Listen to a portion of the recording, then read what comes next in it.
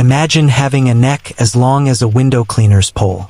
Now imagine having that huge neck but still having the same number of bones as a human. Crazy, right?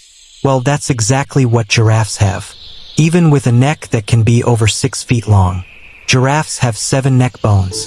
And guess what? Humans also have seven neck bones.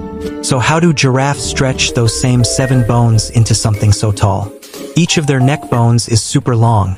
Some are longer than your whole hand, and their bones are built like strong building blocks, letting them reach high leaves without snapping under the weight. But here's the wild part. Just because their bones are big doesn't mean they're slow.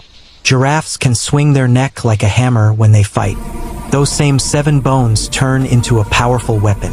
So next time you see a giraffe, remember, its giant neck isn't made of hundreds of bones, just the same seven you have. The difference, theirs can reach the sky,